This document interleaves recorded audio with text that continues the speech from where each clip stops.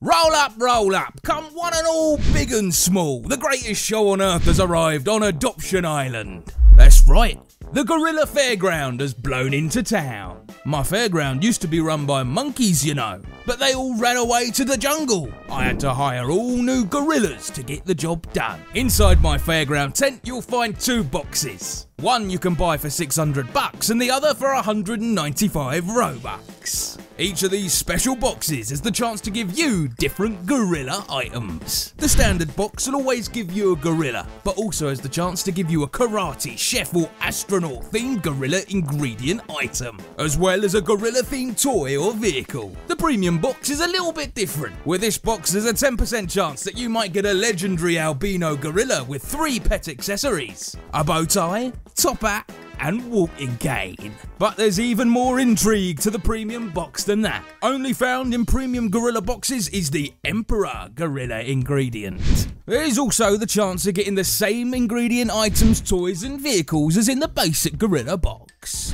So, what do you do with these ingredient items, I hear you ask? Well, if you get three of a type of ingredient, you can go to the corresponding gorilla in my tent. That gorilla will then perform a special type of gorilla magic to combine the ingredients with one of your basic gorillas to create a whole new type of gorilla. Depending on the ingredients, you could get an emperor gorilla, a karate gorilla, a chef gorilla, or an astronaut gorilla. Every one of these gorilla pets comes with its own accessory that you can use with any of your pets. So come on down to the Gorilla Fairground starting this Thursday on Adoption Island. Check out our website at playadopt.me slash countdown to find out what time the update goes live where you are.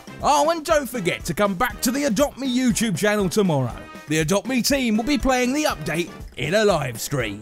Roll up, roll up, ladies and gentlemen, the Gorilla Fairground has come to town.